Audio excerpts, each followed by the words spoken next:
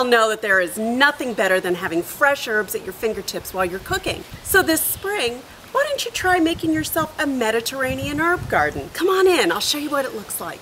So I've got a big pot here full of Mediterranean herbs. Basil, can't have a Mediterranean pot without basil. Fresh oregano, rosemary, oh my gosh, this is great on lemon chicken, and fresh dill. Now, most people don't think of dill as being a Mediterranean herb. It's used quite a bit in Greek cooking, especially in tzatziki sauce. The great thing about Mediterranean herbs is that they don't need a heck of a lot of water. Now, right next to my Mediterranean planter, I have a planter filled with cilantro. Gotta love cilantro it just does not do well in the heat. So I have this in a separate pot mainly because as soon as it gets warm here, these are going to probably wilt and I'll just replace it with something else. Uh, next to it, I've also added marigolds.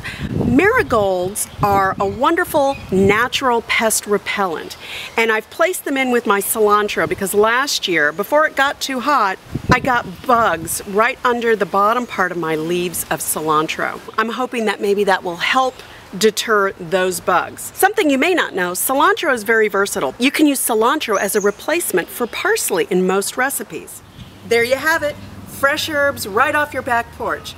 Thank you for joining me and we'll see you next week on SimpleSolutionsDiva.com.